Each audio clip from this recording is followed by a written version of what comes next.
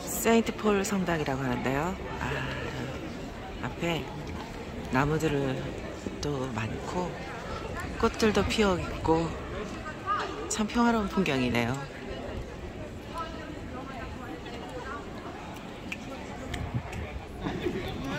어딜 가나 작품 활동을 열심히 하시는 우리 멤버들 때문에 아주 사진 찍기가 너무 힘들지만 이 유서 깊은 도시에서 이 아름다운 캠퍼스에서 공부하는 학생들 너무 부럽네요.